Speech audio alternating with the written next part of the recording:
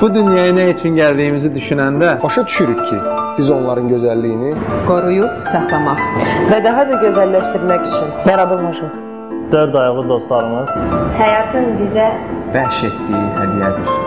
Onlar əsl mərhəmət və təmənnasızlıq göstəricisidir. biz mərhəmətli və günahsız varlıqların müdafiəsinə qalxırıq. sizləri də bu xeyirxah mübarizəmizə qoşulmağa çağırırıq. Çünki onların da yaşamağa haqqı var. Çünki onların da yaşamağa haqqı var. çünki onların da yaşamağa haqqı var. Çünki onların da yaşamağa haqqı var. Çünki onların da yaşamağa haqqı var. Çünki onların da yaşamağa haqqı var. çünki onların da yaşamağa haqqı var. Çünki onların da yaşamağa haqqı var. Çünki onların da yaşamağa haqqı var. Çünki onların da yaşamağa haqqı var.